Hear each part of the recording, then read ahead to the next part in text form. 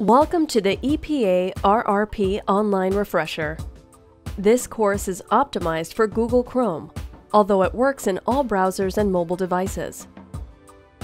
You can even start, stop, and continue between devices, making it easier to complete training on the go. Click the registration button to get started. First thing we are going to need is your email address, which will be used for your username.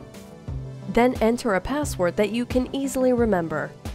After you have entered all the necessary information, click the Agree to Terms button and then click Submit.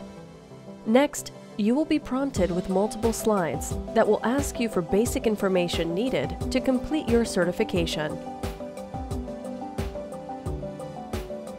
You will then be asked to provide the state you will be working in and also when you completed your initial course.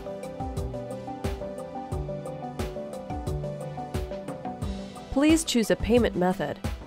We accept PayPal, MasterCard, Visa, and most major credit cards. You may also pay in bulk over the phone. Please fill in all necessary billing information here.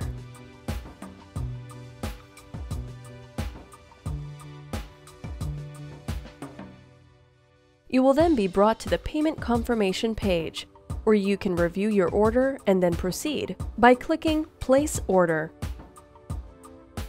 Once you reach the photo page, you will be prompted to upload your initial certificate and also a picture of yourself.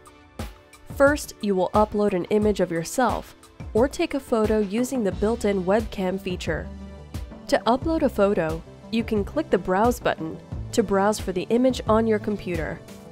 When uploading, make sure to crop the image as appropriate.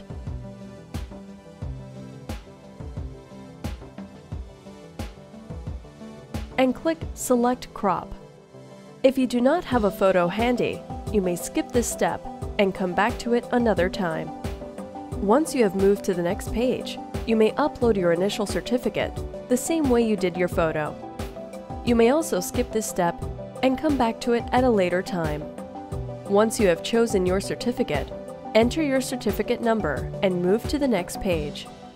After you have completed all of these steps and come to the introduction page, you have completed the registration process and will proceed to watch an introduction video that will explain how the course works.